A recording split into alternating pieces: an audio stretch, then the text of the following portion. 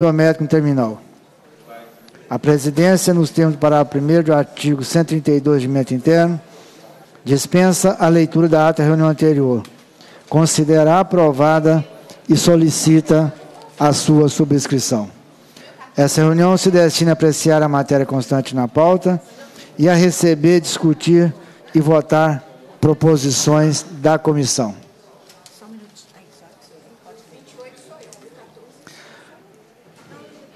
Passa-se a primeira fase da ordem do dia, que compreende a discussão e a votação de pareceres sobre proposições sujeitas à apreciação do plenário. Sobre a mesa, requerimento de autoria do deputado Oswaldo Lopes, que requer retirar de pauta do PL 1014 de 2019. Em votação, requerimento, senhora deputada e senhores deputados que aprovam, permaneçam como se encontram. Aprovado. Requerimento de autoria do deputado Oswaldo Andrade, requer seja retirado, Oswaldo Lopes, requer seja retirado de pauta o projeto de lei complementar 28 de 2019. Em votação, requerimento.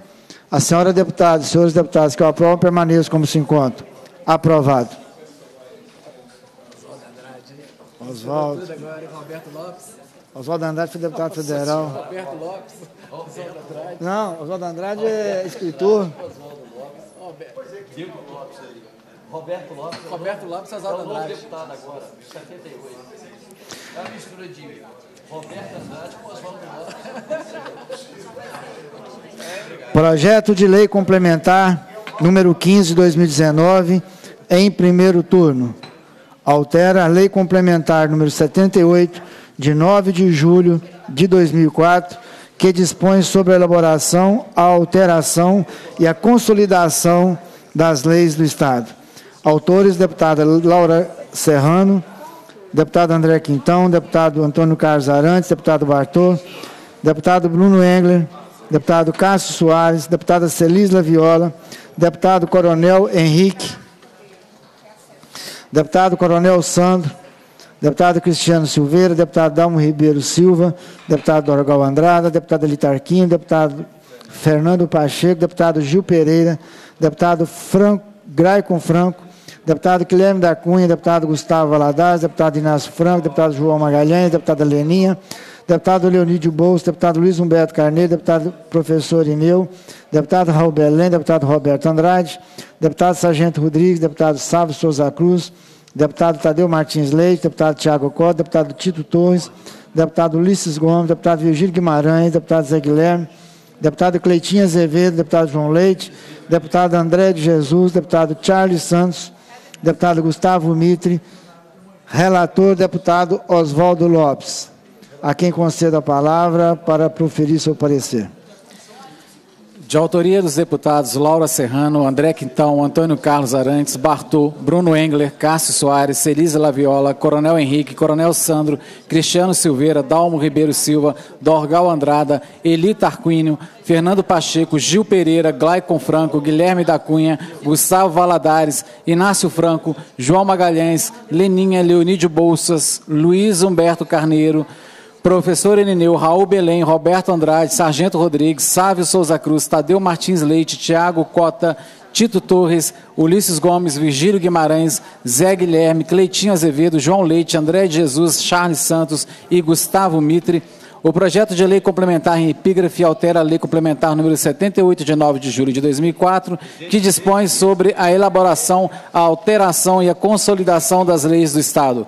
Publicado no Diário Legislativo de 3 de agosto de 2019, foi o projeto distribuído às comissões de Constituição e Justiça e Administração Pública.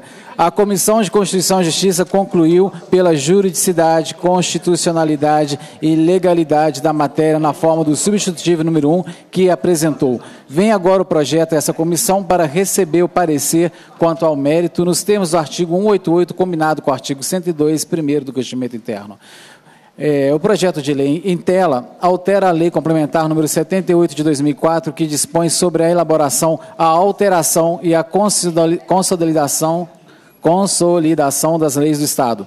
Segundo os autores, a Lei Complementar número 78 de 2004, ao tratar da matéria de consolidação das leis, previa a necessidade de grupo de trabalho coordenado com o Executivo para promover a sistematização das leis estaduais, o que fere a autonomia do Poder Legislativo no seu papel princípio de legislador para o Estado.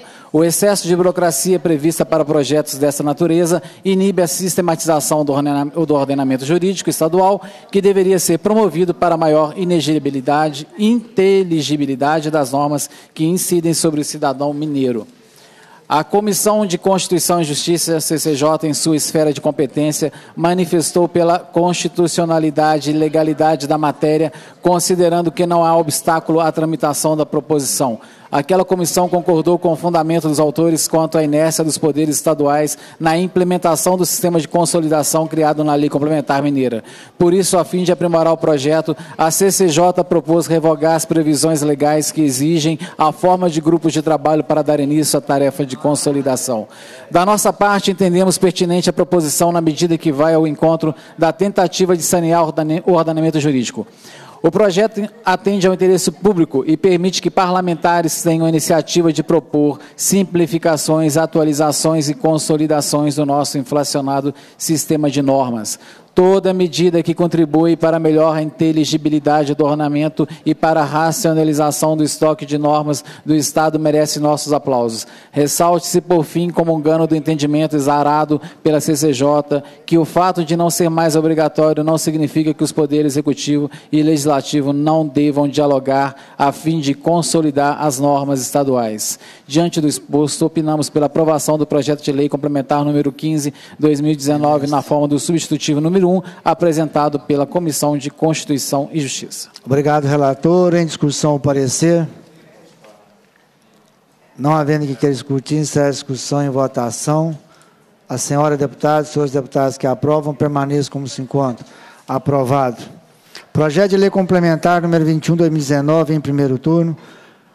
Acrescenta parágrafo, parágrafo 4 ao artigo 3 da Lei Complementar número 132, de 7 de janeiro de 2014, que institui o regime de previdência complementar para os servidores públicos titulares de cargos efetivos dos poderes do Estado e membros dos poderes do Ministério Público e do Tribunal de Contas e da Defensoria Pública do Estado de Minas Gerais. Fixa o limite máximo para a concessão de aposentadorias e pensões de que trata o artigo 40 da Constituição da República, autoriza a criação de entidade fechada de previdência complementar na forma de fundação e da outras providências. Autor, deputado Arte Bichir, relator, deputado Raul Belém, a quem concedo a palavra para proferir o parecer. Projeto de lei complementar em exame objetiva possibilitar ao servidor público ou membro de poder que ingressou no serviço público antes da criação do regime de previdência complementar dos servidores do Estado de Minas Gerais que, de modo expresso, faça opção por tal regime. No âmbito estadual, o regime de previdência complementar é regulado pela Lei Complementar número 132, de 7 de janeiro de 2014. Na esfera da União, o dito regime está disciplinado na Lei Federal número 12.618, de 20 de abril de 2012, que estabeleceu o direito de opção a que alude a proposta em exame. Conforme justificativo, o autor da proposta, com argumento validado pela Comissão de Constituição e Justiça, em seu parecer para o primeiro turno da matéria, a Lei Complementar número 132 de 2014, diversamente da Lei Federal número 12.618 de 2012, viola o princípio da isonomia ou não conceder ao não conceder o direito de opção por um regime previdenciário aos antigos servidores estaduais. Ademais, o autor ainda informa que o regime complementar é fisicamente equilibrado e vantajoso na medida em que promove economia para os cofres públicos e não acarreta perdas aos agentes públicos que abrange. Também cabe aduzir que a proposta em estudo apenas concede direito de opção ao servidor. Ela não obriga a mudar o seu regime previdenciário. O que ela faz, em suma, é corrigir distorção no sistema previdenciário dos servidores estaduais. Como se pode observar, a proposta, a proposta tem o mérito de dar a todos os servidores o mesmo direito de se submeterem a um regime de previdência que já se torna regra no país e que encontra similitude com o regime geral de previdência aplicável a todos os trabalhadores do país. Além disso, inegavelmente, tal regime gera a médio prazo economia para os cofres públicos. Finalmente, reitere-se que não se impõe ao antigo servidor a sujeição a tal regime, apenas se lhe confere o direito de por ele optar. A proposta é, sem dúvida, vantajosa para todos, Estado e servidor público. Diante do exposto, opinamos pela aprovação do projeto de lei complementar número 21 2019 em primeiro turno na forma original. Esse é o meu parecer, senhor presidente. Obrigado, relator. Em discussão, o parecer. Não havendo que queira discutir, encerra a discussão. Em votação. A senhora deputada e os senhores deputados que o aprovam permaneçam como se encontram. Aprovado. Projeto de Lei 5.374, 2018, em segundo turno dispõe sobre a desafetação do trecho rodovia que especifica e autoriza o Poder Executivo a doar ao município de Francisco Badaró. Autor, deputado Neilando Pimenta, relator, deputado Raul Belém, a quem conceda a palavra para proferir o parecer. A proposição em análise, na forma aprovada em plenário, determina no artigo 1 a desafetação do trecho da rodovia LMG 676, compreendido entre o quilômetro 47 e o quilômetro 47 6, com a extensão de 600 metros. No artigo 2 autoriza o Poder Executivo a doar ao município Francisco Badaró a área correspondente a esse trecho rodoviário, a fim de que passe a entregar o perímetro urbano municipal para instalação de via urbana. Por fim, no artigo 3 determina que a área objeto da doação reverterá o patrimônio do Estado, se fim do prazo de cinco anos contado da publicação da lei autorizativa não lhe tiver sido dada a destinação prevista. A transferência da titularidade de bem público, ainda que para outro ente da federação, somente pode ser realizada com autorização dessa Assembleia Legislativa, por exigência do artigo 18 da Constituição do Estado, do artigo 17 da Lei Federal 8.666 de 1993, que institui normas para licitações e contratos da administração pública. E no parágrafo 2 do artigo 105 da Lei Federal número 4.320, de 1964, que estatui normas gerais de direitos financeiros para a elaboração e o controle dos orçamentos e balanços da União, dos Estados, dos municípios e do Distrito Federal. Ressalte que a doação de trechos de rodovia estadual para o domínio municipal não implica alteração da natureza jurídica desse bem público, pois, como via pública, ele continua a ser afetado ao uso comum do povo. A modificação básica incidirá apenas sobre a titularidade do imóvel, que passará a integrar o domínio público municipal. No caso em apreço, o trecho objeto de alienação já entrega o perímetro urbano e a doação pretendida favorece a autonomia do município, uma vez que a nova titularidade viabilizará a realização de benfeitorias e regularização das construções na faixa de domínio, agilizando as futuras intervenções na recuperação da via. Reiteramos, portanto, portanto o entendimento de, desta comissão de que o projeto se encontra de acordo com os preceitos legais que versam sobre a matéria e atende ao interesse público, ser, podendo ser transformado em norma jurídica. Em face do exposto, opinamos pela aprovação do projeto 5.374-2018 no segundo turno, na forma apresentada. Esse é o meu parecer, senhor presidente. Obrigado, deputado Rubelém. Em discussão, o parecer. Não havendo quem queira discutir, encerra a discussão em votação. A senhora deputada, os senhores deputados que o aprovam, permaneçam como se encontram. Aprovado. Projeto de lei. Projeto de lei 1015-2019, segundo turno. Autoriza o Poder Executivo a realizar compensação de dívidas vencidas com crédito tributário, nas hipóteses e termos que especifica. Autor, governador Romeu Zema Neto. Parecer para o segundo turno, projeto de lei 1015-2019. Projeto de lei 1015-2019 do governador do Estado, encaminhado por meio da mensagem 37 de 2019 Autoriza o Poder Executivo realizar compensação de dívidas vencidas com crédito tributário nas hipóteses e termos que especifica. A proposição foi aprovada em primeiro turno com as emendas 1 a 3 e retorna este órgão colegiado para dele receber parecer para segundo turno, conforme dispõe o artigo 189, combinado com o artigo 102 inciso 12 do regimento interno.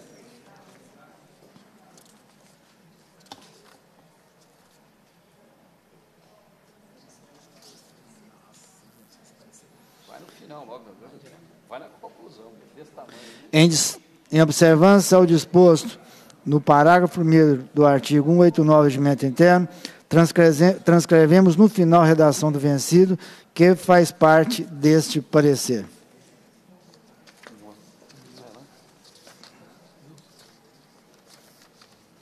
Essa aqui ficou grande, que é a sua emenda. Eu sei. É, é. Porque não tinha, deve estar na segunda. Ah, pequenininho, pequenininho. O objeto da proposição em análise é autorizar o Estado a realizar compensação com crédito tributário relativo ao imposto sobre operações relativas à circulação de mercadoria e prestação de serviço de transporte interestadual, intermunicipal de comunicação ICMS e de responsabilidade dos próprios fornecedores das dívidas de órgãos de administração pública direta das fundações e autarquias do Estado, do Estado vencidos até 30 de junho de 2019, decorrentes da aquisição de energia elétrica elétrica, serviço de telecomunicação, bem como combustível líquido ou gasoso, derivado ou não de petróleo.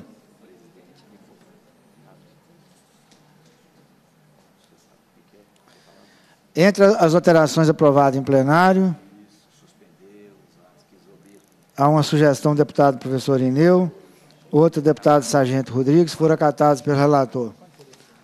A do deputado Sargento Rodrigues é, é para que o Estado repasse a, a Coab imóveis de sua titularidade para integralizar o capital da Coab e do professor Ineu, a fim de aprimorar o texto aprovado no primeiro turno, tornando mais preciso e com o intuito de dar mais con concreção ao princípio da transparência.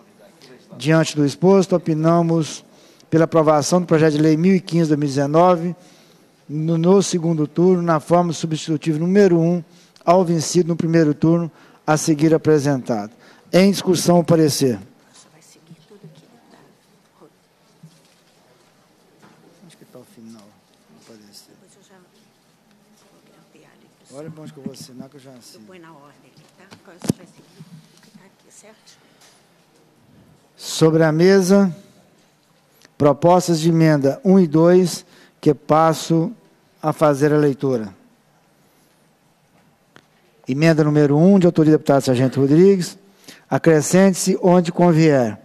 Abre aspas. Artigo. Fica o Poder Executivo autorizado a integralizar capital por meio de aporte de 137 imóveis da Companhia de Habitação do Estado de Minas Gerais, Coab, todos relacionados no anexo 1 desta lei. Artigo. Os imóveis objeto da negociação foram avaliados nos termos do artigo 10 e 12 do Decreto Estadual 46467, de 28 de março de 2014, e serão considerados para fins de transferência de domínio os valores relacionados no anexo 1 desta lei. Artigo: a transferência dos imóveis que trata esta lei à Coab são isentos do pagamento de taxas, emolumentos e demais despesas cartorárias. Emenda número 2. De autoria do deputado Tadeu Martins Leite. O artigo 13 da Lei 23.090-2018, que altera a Lei 22.914, de 12 de janeiro de 2018, que dispõe sobre a cessão de direitos creditórios ordinários de créditos tributários e não tributários do Estado, restitui benefícios fiscais relativos ao ICMS, altera as leis 67 e 63 de 1975, 14.941 2003, 15.273 2004 e 22.549 2017. E número 22.606 2017 e da outras providências. Passa a ter nova redação. Precisa ler toda? Isso, agora aqui. O... Essa aqui, essa aqui foi contemplada já, não foi? Foi contemplada, né? Tá. Certo. Na condição de relator manifesto parecer favorável às emendas, ambas.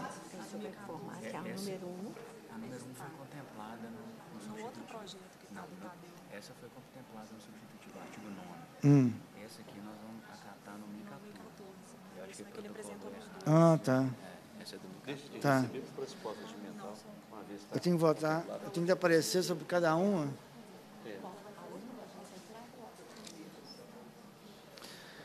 Na condição de relator, manifesto minha opinião favorável à emenda número 1, um, número, número 1, um, deputado Sérgio Rodrigues, que já está contemplada no parecer, e rejeito a emenda número 2 por falta de pressupostos regimentais.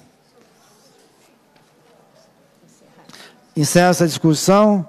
Essa presença esclarece aos deputados que, conforme o artigo 264 do Regimento Interno, o que a minha de votação da proposição deve ser feito no seu todo, em conjunto com as emendas, mesmo que a votação se dê por partes. Informa ainda que, anunciada a votação, esta poderá ser encaminhada pelo prazo de 10 minutos pelos membros desta comissão. Em votação, parecer, salvo as propostas de emenda. A senhora deputada e os senhores deputados que aprovam permaneçam como se encontram. Aprovado. Em votação, a proposta de emenda número 1. Um, em votação, a proposta de emenda número 2, que recebeu o parecer contrário deste relator. A senhora deputada e os senhores deputados que aprovam permaneçam como se encontram. Aprova o, o parecer, a rejeição. Parecer, então. É a proposta, o parecer nós aprovamos. Agora nós estamos votando a proposta de emenda número 2. Quem aprova permanece como está e quem quer rejeitar, rejeitar. Quem aprova a emenda. Quem aprova a emenda, permaneça como se encontra. Em votação, as propostas de emenda que recebeu a, proposta de emenda número 2, que recebeu o parecer contrário deste relator. A senhora deputada e os seus deputados que aprovam permaneçam como se encontram. Pode levantar quem for. Vamos votar também. A emenda foi rejeitada. Para a declaração de voto, conceda a palavra ao deputado Sargento Rodrigues. Presidente, eu queria, serei muito breve, mas apenas para esclarecer os pares dessa comissão e os colegas deputados ali, Tarquínio, Bruno Engler e Virgílio Guimarães, é, a emenda que Vossa Excelência acatou no parecer de Vossa Excelência visa resolver um problema que já perdura por anos. Em 2004, ainda durante o governo Aécio Neves, foi criado o programa Lares Gerais de Segurança Pública. E esse programa visou atender com moradias funcionais os servidores que estavam ameaçados de morte ou seus familiares, em situação gravíssima de risco pelo exercício da atividade profissional. De lá para cá, presidente, o programa veio acolhendo diversas dessas famílias nas moradias funcionais. No entanto, é, houve edição de decretos que prorrogou o tempo de permanência mas o Estado não conseguiu encontrar uma solução definitiva. Então, o que, que nós precisávamos fazer? Autorizar que essas moradias funcionais que estavam na Secretaria de Justiça e Segurança Pública fosse transferida a propriedade para a Coab, para a Coab possa alienar aos hoje ocupantes dessas moradias. Vários dos policiais, esposas e filhos estão aqui no plenarinho acompanhando a votação da matéria e que há muito tempo passam por uma situação dificílima. Eu e o deputado João Leite, através da Comissão de Segurança Pública, visitamos o Residencial das Américas, aqui no bairro Betânia, Zona Oeste de Belo Horizonte, e lá constatamos que, dentre as 90 e poucas moradias funcionais, várias estavam abandonadas pelo próprio Estado, uma situação é, de deterioração algumas com esgoto estourado dentro do próprio apartamento, paredes em péssimo estado, pintura, é, vidros quebrados, ou seja, uma situação muito, muito difícil do ponto de vista da conservação dessas, dessas habitações. E, por outro lado, os próprios servidores que já ocupam essas habitações, desejando adquiri-las, e o Estado resolveu o problema é, de não precisar, inclusive, ficar pagando o condomínio. É, um outro sacrifício pela administração hoje, pela Secretaria é, de Justiça e Segurança Pública, era recursos para pagar condomínio. Isso levou, inclusive, a diversas diversos problemas gravíssimos na condução é, pelos condôminos, que tem outros, outros proprietários dentro da mesma área. Então, dificultou muito. Então, o que nós estamos propondo aqui é, na verdade, uma solução para o problema do governo que se encontra hoje. Então, eu queria agradecer o relator, o deputado João Magalhães, que entendeu a complexidade, entendeu o problema e que enxergou na nossa proposta uma solução definitiva para o problema. O Estado, com 90 e poucos apartamentos, em sua maioria abandonados, deteriorando e devendo as taxas de condomínio.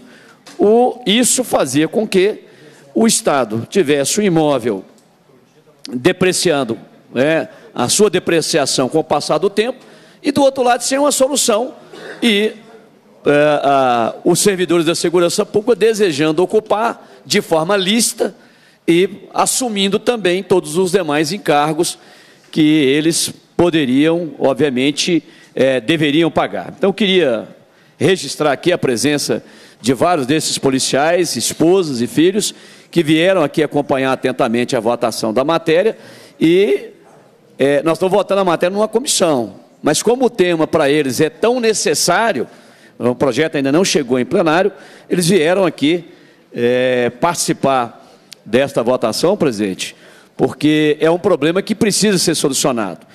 O jornal Tempo deve ter é, publicado cerca de 10 matérias falando do imbróglio que esse residencial ficava sem uma solução porque não conseguia sequer pagar a taxa de condomínio.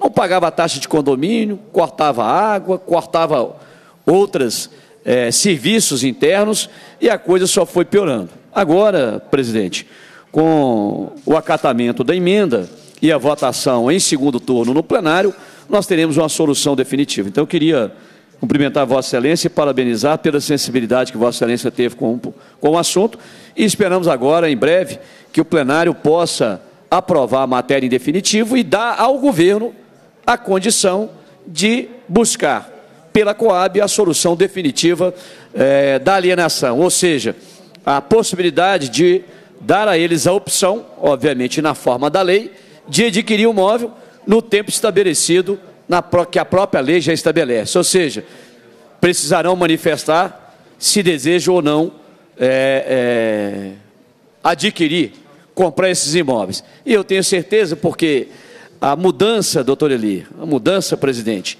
quando você retira um policial lá de Venda Nova, que está lá com a família, morando 10, 15, 20 anos, foi ameaçado de morte por uma quadrilha de traficantes, de criminosos, e você muda.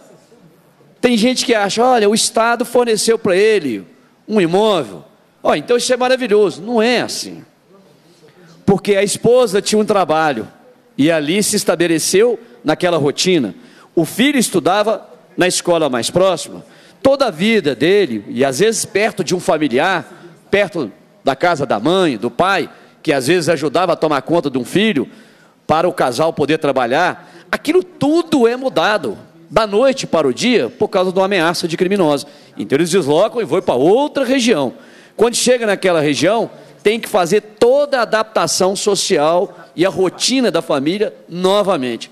Ao se adaptar, o Estado começou a ingressar também em juízo para fazer o despejo judicial, colocando essas famílias na rua. Ou seja, o mesmo Estado que forneceu a casa funcional já estava ingressando no Poder Judiciário para colocar eles para fora da casa. Ou seja, é uma situação muito delicada, gravíssima e que com a aprovação dessa, dessa do substitutivo aqui elaborado pelo deputado João Magalhães, nós teremos uma solução definitiva. Eles adquirem a casa, descontam em folha, o Estado resolve um problema e soluciona, já que agora eles já estão novamente adaptados naquela localidade. Retirar agora seria um outro pesadelo para toda a família. É a escola, é o trabalho da esposa, é a rotina da família. Então não é uma coisa simplória. Aí eu arrumei uma casa funcional, vai para lá e está tudo solucionado. E agora você ficou esse tempo, vai embora. Então não é assim. Então eu venho acompanhando esse problema, doutor Eli, há mais de cinco anos aqui na Assembleia. Tivemos algumas iniciativas no governo passado, avançou um certo ponto, mas o judiciário, enquanto isso, as ações iam tramitando. E a tramitação desses processos chegou a colocar eles numa situação dificílima. Nós, com o nosso gabinete, tivemos que orientar eles a desobedecer, inclusive, mandado judicial de despejo, para que a polícia não fizesse a integração de posse e a gente fosse na Advocacia Geral do Estado, fosse na Secretaria, ou seja, deu um trabalho enorme para tentar contornar um problema que o próprio Estado criou e não viu uma solução. Então, eu queria prestar esses esclarecimentos aqui aos colegas deputados e à deputada presidente. Apenas isso e parabenizando mais uma, mais uma vez Vossa Excelência pela sensibilidade, cumprimentando os familiares que aqui se encontram. Agora, graças a Deus, a coisa caminha para uma solução definitiva e agora apenas a votação em plenário, já que o projeto foi votado aqui, a emenda acatada, as unidades serão transferidas para a Coab e a Coab terão condições de fazer essa transferência e essa alienação diretamente para as respectivas famílias. Parabéns a vocês que estão aí aguardando pacientemente, sofrendo na pele todo esse problema social, mas que agora a coisa caminha para uma solução em definitivo. Muito obrigado, presidente. Projeto de Lei 3.573, 2016, em primeiro turno, autoriza o Poder Executivo a doar ao município de Sacramento o imóvel que especifica. Autor, deputado Léo Portela, relator, deputado Robelém, a quem conceda a palavra para proferir o parecer. Projeto de Lei 3.573 de 2016 tem por escopo autorizar o Poder Executivo a doar ao município de Sacramento o terreno com 30 metros de frente para a rua Comendador Machado, 24 metros de lado direito, 24 metros de lado esquerdo e 30 metros de fundo, registrado sob o número 1592 do, do segundo livro no cartório de registro geral de imóvel de Sacramento. Em sua análise, a Comissão de Constituição e Justiça informou que para a transferência de domínio de imóveis públicos devem ser observados o artigo 18 da Constituição Mineira o inciso 1 do artigo 17 da Lei Federal 8.666, de 1993, que institui normas para licitações e contratos da administração pública e da outras providências. Essas normas exigem avaliação prévia, autorização legislativa e licitação, além de subordinação ao interesse público, para órgãos da administração direta, fundações e autarquias. Por fim, conclui-se pela juridicidade, constitucionalidade e legalidade da proposição na forma do substitutivo número 1, que apresentou com a finalidade de corrigir as informações cadastrais do imóvel, acrescentar as cláusulas de destinação e reversão e adequar o texto à técnica legislativa. Cabe ressaltar que a Secretaria de Estado de Governo enviou a esta Assembleia a nota técnica 131 de 2016 da Secretaria de Estado de Planejamento e Gestão, por meio do qual essa esclareceu, inicialmente, que o imóvel for, fora doado pelo município de Sacramento ao Estado, que não tem mais interesse em sua utilização. Tendo em vista que a destinação pública a ser atribuída ao imóvel beneficiará diretamente a população local, propiciando melhoria na prestação dos serviços públicos, a CEPLAG manifestou-se favoravelmente à alienação pretendida. Cabe ressaltar ainda que a proteção do interesse coletivo é princípio de observância obrigatória pela administração do Estado, pois no trato da coisa pública prepondera o que é conveniente para a coletividade. Em vista disso, a Comissão de Constituição e Justiça apresentou o substitutivo número 1, que acrescenta dispositivo que indica a utilização a ser dada ao imóvel, funcionamento da vigilância sanitária e de outros órgãos da administração municipal e a previsão de sua reversão caso a destinação não seja cumprida em um prazo de cinco anos. Concluímos, portanto, que a doação do imóvel objeto da matéria em exame alcança o interesse público, uma vez que a finalidade a ser dada ao bem otimiza a utilização do espaço público, viabilizando o melhor funcionamento da administração pública municipal. Diante do exposto, opinamos pela aprovação do projeto de lei 3.573 de 2016, no primeiro turno, na forma do substitutivo número 1, apresentado pela Comissão de Constituição e Justiça. Esse é o nosso parecer, senhor presidente. Obrigado, deputado. Em discussão, o parecer. Não havendo quem queira discutir, encerra essa discussão. Em votação. A senhora deputada, os senhores deputados que aprovam, permaneçam como se encontram. Aprovado. Projeto de Lei 3.994, 2017, primeiro turno. Autoriza o Poder Executivo a doar ao município de Nepomuceno o imóvel que especifica. Autor, deputado Antônio Carlos Arantes, relator, deputado Sargento Rodrigues, A quem conceda a palavra para proferir o parecer. Senhor presidente, de autoria do deputado Antônio Carlos Aranço, o projeto de lei em epígrafe visa autorizar o executivo a doar município de Nepomuceno o imóvel que especifica. A matéria foi publicada no Diário Legislativo no dia, 2, dia 9 de fevereiro de 2017, distribuída às comissões de Constituição e Justiça e Administração Pública.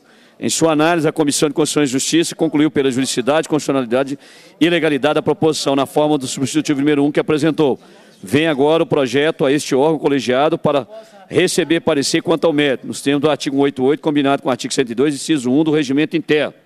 Conclusão, diante do exposto, opinamos pela aprovação do projeto de lei número 3.994-2017, no primeiro turno, na forma do substitutivo número 1, apresentado pela Comissão de Constituição e Justiça. Obrigado, este é o parecer, presidente. Obrigado, deputado. Em discussão, o parecer. Não havendo quem queira discutir, encerra a discussão e votação. A senhora deputada, senhores deputados que o aprovam, permaneçam como se encontram. Aprovado. Projeto de Lei 999-2019, primeiro turno, dispõe sobre a destinação de bens, direitos e valores oriundos de ilícitos penais relacionados à Lei Federal 9.613, de 3 de março de 1998, para os órgãos de segurança pública do Estado e da outras providências. Autor, deputado Bruno Engler. Relator, deputado Sargento Rodrigues, a quem conceda a palavra para proferir o parecer. De autoria do deputado Bruno Engler, o projeto de lei 999-2019 dispõe sobre a destinação de bens, direitos e valores oriundos de ilícitos penais relacionados à Lei Federal 9613, de 3 de março de 98, para os órgãos de segurança pública do Estado e da outras providências. Publicada no Diário Legislativo, a proposição foi distribuída às comissões de Constituição e Justiça, de Segurança Pública e de Administração Pública. Em sua análise preliminar, a Comissão de Constituição e Justiça concluiu pela juridicidade, constitucionalidade e legalidade da proposição com a emenda número 1 que apresentou. A Comissão de Segurança Pública, ao manifestar favoravelmente a proposição, apresentou a emenda número 2. Cabe a esta Cabe agora a esta comissão emitir parecer sobre o mérito da proposição nos termos do artigo 192, combinado com o artigo 102, inciso 1 do Regimento Interno. Conclusão. Em face do exposto, somos pela aprovação do projeto de lei 999-2019, na forma do substitutivo número 1 apresentado, e pela rejeição das emendas número 1 e 2 apresentadas pela Comissão de Constituição e Justiça e Segurança Pública. Substitutivo número 1 dispõe sobre a destinação de bens, direitos e valores oriundos de ilícitos penais relacionados à Lei 9613, de 3 de março de 98, para os órgãos de segurança pública do Estado e da outras providências. Os bens, artigo 1 os bens, direitos e valores oriundos de ilícitos penais relacionados à Lei Federal 9613, de 3 de março de 98, serão destinados aos órgãos de segurança pública do Estado, após o trânsito em julgado de sentença penal condenatória, que também decretar o perdimento. Artigo 2 a destinação a que se refere o artigo 1 visa preferencialmente o aprimoramento da atuação dos órgãos de segurança do Estado, encarregados da prevenção do combate à ação penal e do julgamento dos crimes previstos na Lei Federal 9613 de 3 de março de 98, conforme determina o parágrafo 1 artigo 7 da referida lei e obedecerá critérios de defasagem de pessoal, infraestrutura e equipamentos. Os bens, artigo 3 os bens, direitos e valores de que trata esta lei serão destinados prioritariamente à infraestrutura e à reestruturação dos órgãos de segurança pública, à aquisição e ao aprimoramento de tecnologia, capacitação de agentes e autoridades. Esta lei entra em vigor na data de sua publicação. Sala das Comissões, 26 de novembro de 2019. Este é o parecer, presidente. Em discussão, o parecer. Senhor presidente. Com a palavra para discutir, o deputado Bruno Engler. Senhor presidente, quero apenas agradecer o deputado Sargento Rodrigues pelo parecer e dizer aos colegas que esse é um projeto que vai na lógica de usar o dinheiro do crime contra o crime. É a gente possibilitar o uso de dinheiro obtido pelo Estado através de ilícitos penais para o fortalecimento dos órgãos de segurança pública. Acho que é uma agenda positiva que vai melhorar a segurança do nosso Estado e conto com o apoio dos pares para aprovação do mesmo. A 2 da Lei 100.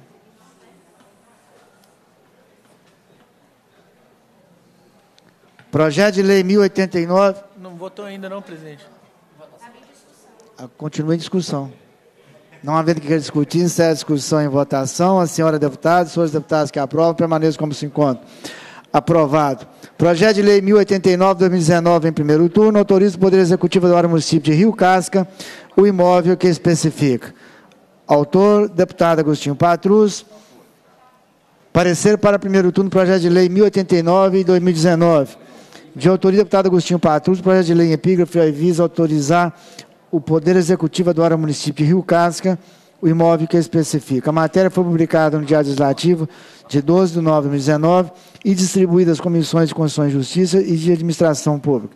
Em sua análise, a Comissão de Constituição e Justiça concluiu pela justicidade, constitucionalidade e legalidade da proposição na forma substitutiva número 1 um que apresentou. Vem agora o projeto este ao colegiado para receber parecer quanto ao mérito, nos termos do artigo 188, combinado com o artigo 102, inciso 1 do regimento interno. Diante do exposto, opinamos pela aprovação do projeto de lei número 1089-19 no primeiro turno, na forma do substitutivo número 1, apresentado pela Comissão de Constituição e Justiça. Em discussão, o parecer. Não havendo que queira discutir, encerra a discussão em votação. Senhora deputada, senhores deputados com a própria, permaneçam como se encontra.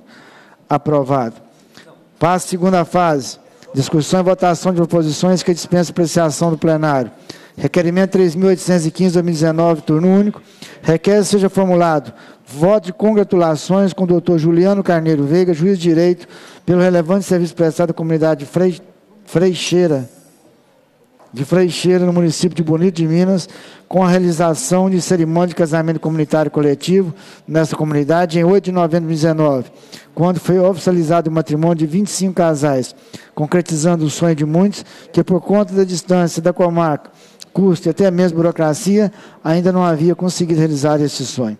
Autor, deputado José Reis. Em votação, requerimento. A senhora deputada e senhores deputados que aprovam, permaneçam como se encontram. Aprovado. Passa-se a terceira fase. A presidência recebe o requerimento número 5.694-2019 do deputado professor Wender, que requer seja realizada audiência pública no município de Ribeirão das Neves para debater os pagamentos pendentes do programa Poupança Jovem, que desde 2016 estão com pendências bancárias. E rejeita os requerimentos 5.672, 5.676, 5.678, de autoria do deputado Cristiano Silveira. Deixamos de receber por incompetência da comissão, uma vez que os assuntos são atinentes à Comissão de Segurança Pública.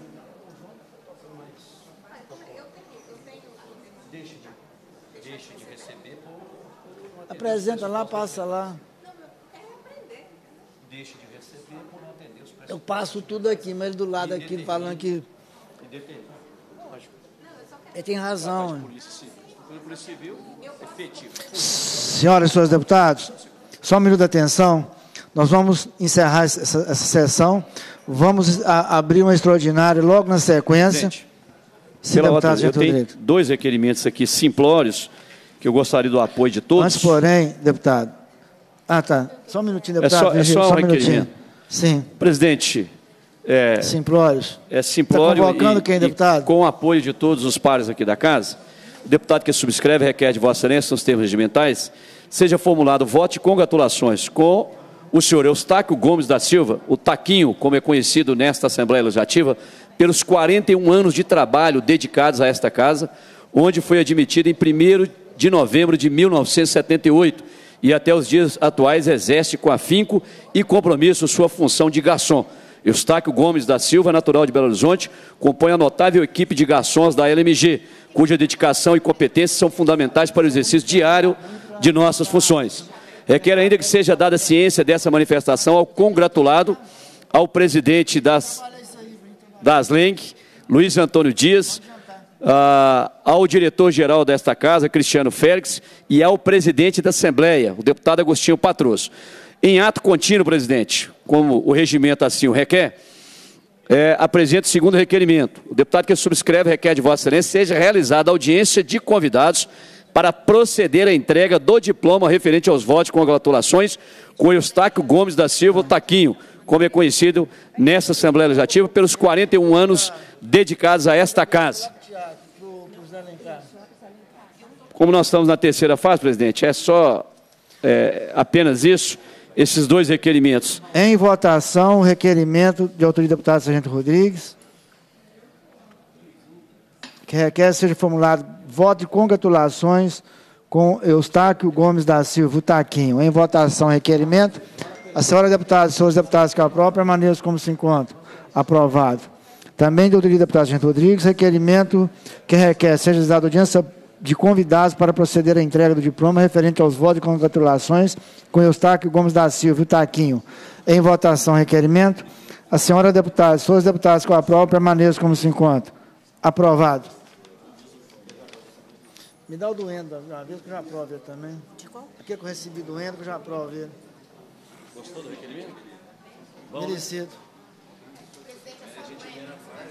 Só um. Guilherme da Cunha. Guilherme, você já tem Em votação, requerimento 5.694, autoria do deputado professor Wendel, que requer seja realizada audiência pública no município de Ribeirão das Neves. Em votação, requerimento.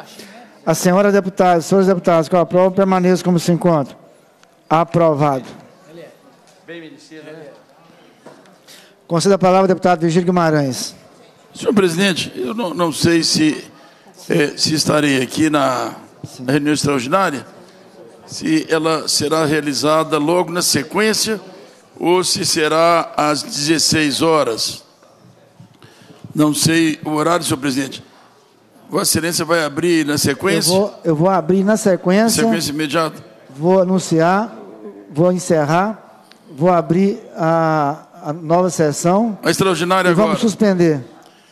Então eu vou, eu não sei se estarei, porque eu tenho uma reunião do bloco agora. Ô, deputado, eu gostaria é, muito de é, participar. A princípio, vamos votar isso lá para as 17, 18 horas. A princípio. Então, mas eu queria até aproveitar aqui, eu vou fazer uma rápida declaração Sim. aqui.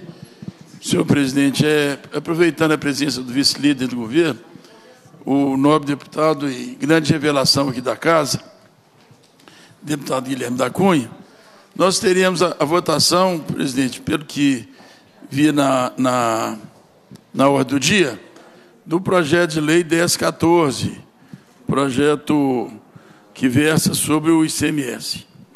Eu tenho uma, uma, uma, prática de. Eu já fui governo, já fui oposição, mas sempre nas comissões de, de orçamento, nas comissões de finanças, de tributação, onde você faz, é, digamos, votações, planejamentos de longo prazo. Quem, quem é oposição e pensa em ser governo, quando vota uma matéria tributária, está votando de alguma maneira para aplicar a si mesmo também. Todos deviam pensar dessa maneira.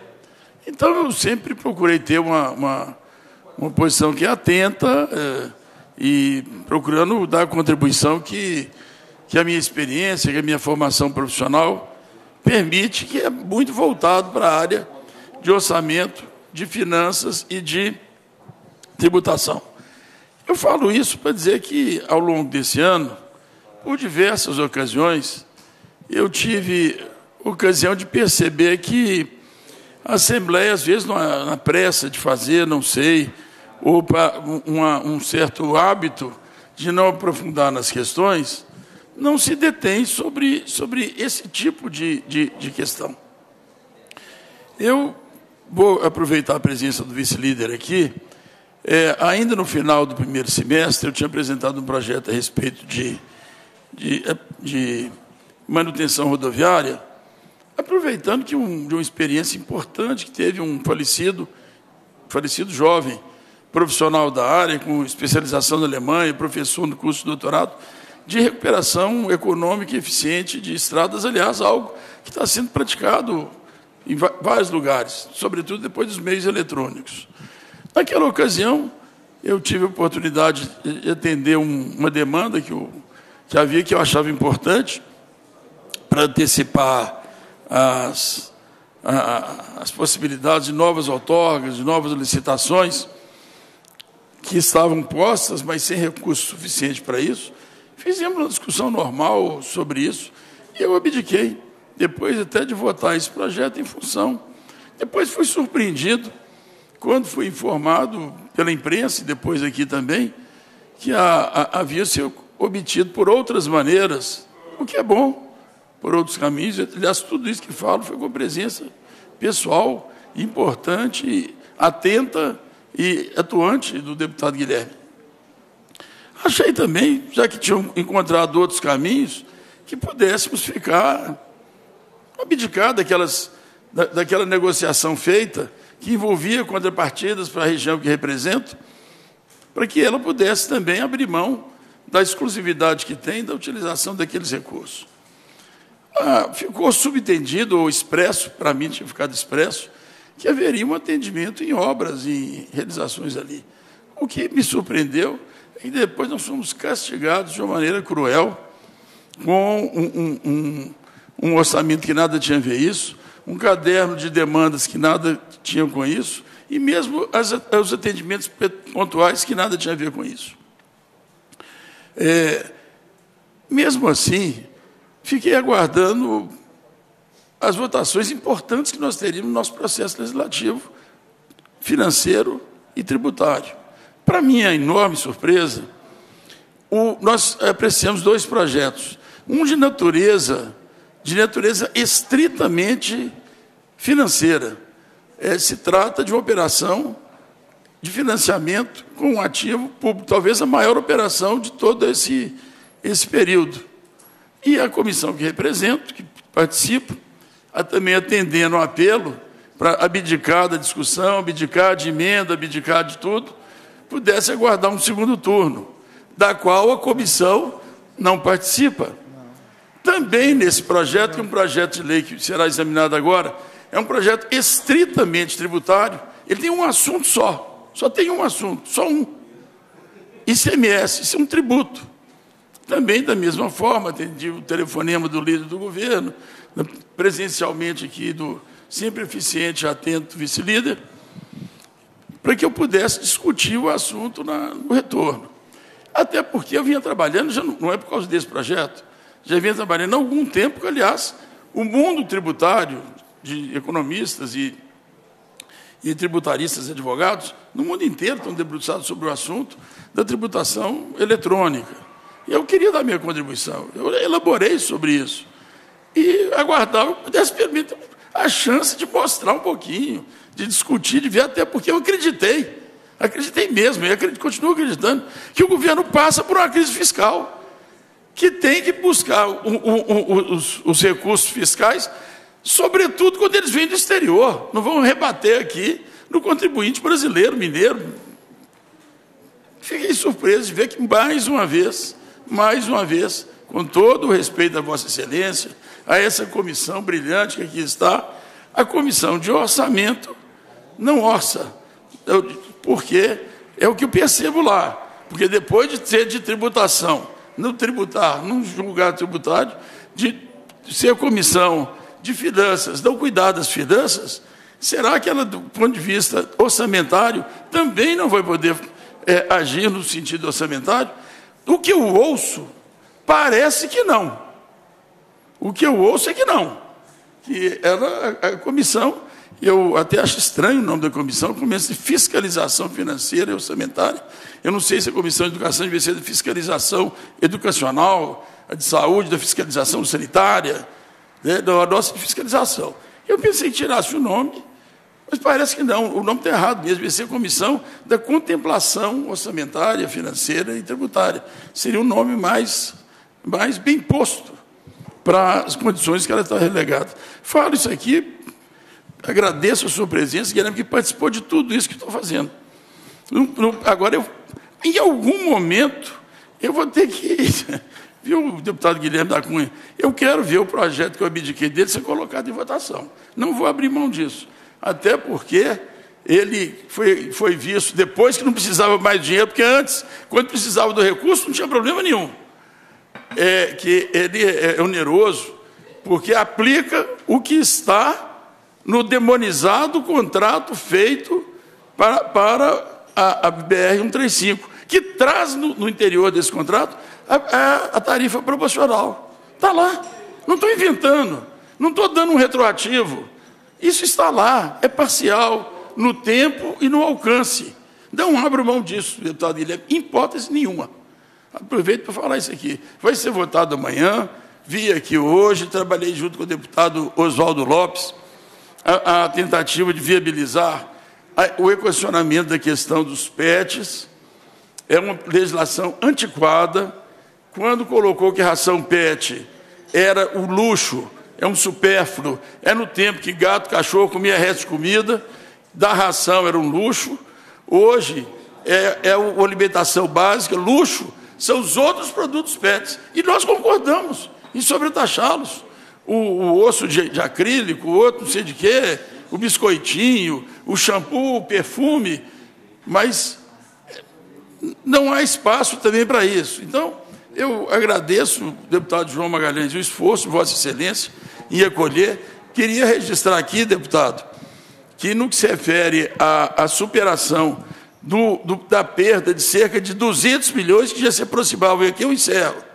Eu tive uma participação importante, porque mesmo depois de ter alertado, as pessoas estavam fazendo de uma maneira equivocada, que é, no mínimo, provocar uma, um, um, um contencioso judicial, no mínimo, no mínimo. E depois a, a, a assessoria jurídica constatou que a minha emenda, ela que efetivamente. Mas não vou ficar discutindo paternidade isso aqui, não. Eu quero dizer que na hora que havia uma perda de 180 bilhões, eu não ouvi ninguém reclamando. Mas para dizer que havia uma perda, que eu não sei se é perda. Vejo ali o deputado Bartô, viu, deputado Bartô? Eu quero testar ali no, no, no, no pedágio da 135 a aplicação também da curva de Laffer, que eu acho que se aplica mais do que em alguns tributos. Porque o vazamento de automóvel que dá a volta por Pirapora, de pessoa que pega carona para não pagar aquele pedágio absurdo, e tudo isso, deputado Guilherme, provavelmente se aplique a curva de Laffer com mais e, e a arrecadação pode aumentar. Mas de qualquer maneira, tudo tem um limite. Queria que Vossa Excelência entendesse. Quem quiser vetar, que veta, quem quiser votar contra, que vota, mas eu vou fazer questão de ter isso aí. Então, duas questões que eu faço. Um, a comissão não se transforme também na comissão da contemplação orçamentária. Também. Ela tem que fazer orçamento, tem receita, tem despesa e tem regras constitucionais.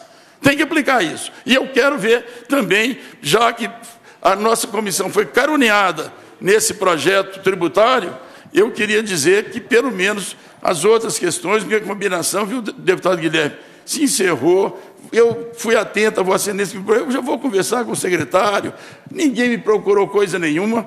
A comissão não pode, como recebeu hoje, uma bofetada a mais, nos acusando de não ter feito a recepção das sugestões do governo, sugestões mal feitas. O nosso LDO proíbe proíbe começar obra que não tem projeto, que não tem nada. A imensa maioria das sugestões colocadas ali, naquele caderno de sugestões, elas são proibidas pela LDO. Não, nós não podemos merecer uma página inteira dizendo que, primeiro, que o, o, o trabalho desse, de, de, desse legislativo não acabou. Não acabou e não vai acabar sem o atendimento. Nós vamos mexer no orçamento. Nós temos que mexer no orçamento. Ou então a comissão vai ser de contemplação orçamentária também, como ela frequentemente é de contemplação financeira, é de contemplação tributária. Deputado João, eu sei que Vossa Excelência não tem nada com isso, mas eu não poderia de registrar aqui, porque esse microfone é da casa. A comissão de Vossa Excelência, muito bem preside, recebeu de bom grado, abriu as portas para mim, não só aqui, mas também no seu gabinete, na sua assessoria, na assessoria da casa e da secretaria. Eu queria fazer esse registro aqui. Mas eu não poderia deixar de fazê-lo, reconhecendo a boa vontade, a dedicação, mas também, viu, deputado Guilherme, eu espero que, que tenha um mínimo. Que, é, o que eu estou dizendo aqui, pena que o presidente da minha comissão não está. Tudo que eu falo, eu demonstro. Eu demonstro o que diz a LDO e o que foi apresentado no orçamento. Vamos fazer um cotejo. Vamos fazer um cotejo. Mostro o que está no caderno de sugestões para o legislativo e como que isso confronta, agride o, os conceitos que estão previstos na LDO. Eu mostro também como que a, a equipe ajudou a construir uma saída na época que não havia dinheiro, recursos para fazer manutenção e, e não havia recursos para fazer, e a boa vontade que tivemos. E depois receber essa é, é, é, essa resposta que se completa hoje, se completa hoje, não tem ninguém para dizer que aquele caderno de, de, de, de sugestões, ele está em sua imensa maioria, não vai ter algum erro não, deputado Guilherme, a imensa maioria são obras por iniciar, coibidas na, na LDO. Então, eu, eu fiz aqui, não é um desabafo, não é um registro, é um registro, e com toda a minha, a, a, minha disposição de ajuda, de colaboração, também a gente, eu, eu fui eleito. O que votou em mim é para que eu seja um legislador, para que eu exerça o meu papel, que eu defenda pontos de vista, para que eu exerça aqui integralmente aquilo que eu tenho capacidade de, de contribuir. Então, agradeço muito. Se voltar aqui na hora da votação, não vou fazer um discurso tão longo feito esse. Não farei, até porque Vossa Excelência teve a paciência de me escutar. A casa está aqui, o deputado Guilherme e todos os demais. Então, fica o meu registro, viu? E o meu pedido, se puder, eu faço questão de, antes de votar em plenário, alguma coisa tem que votar. E vamos representar um, proje um projeto novo, com o tributo novo, que é o mais importante que nós temos. Mas nós temos que corrigir o orçamento. Não admito participar da comissão de contemplação orçamentária. Isso de jeito nenhum. Deputado Virgílio, a vinda de Vossa Excelência aqui é sempre bem-vinda. Ontem eu passei com Vossa Excelência umas três horas e mais umas três hoje. A gente só aprende a sua experiência, tá? E esse direito, Vossa Excelência conquistou nas urnas. Esse microfone está aberto quando precisar. Eu só vou solicitar que os senhores deputados permaneçam aqui mais três minutos. Nós vamos encerrar essa sessão. Vamos reabrir uma, abrir uma extraordinária e vamos suspender. É aguardar aí os nossos líderes definirem se vão votar ou não amanhã o 1014, sobre a questão também do número grande de emendas que foram apresentadas.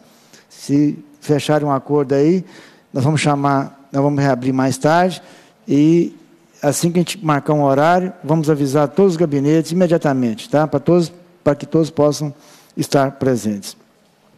E cumprida a finalidade da reunião, a presidência agradece a presença parlamentares, convoca os membros para a reunião extra, extraordinária a ser realizada hoje, terça-feira, às 15 horas e 40 minutos para deliberar sobre os projetos de lei 1014-2019 e PLC 28-2019. Determina a lavratura da ata e encerra os trabalhos.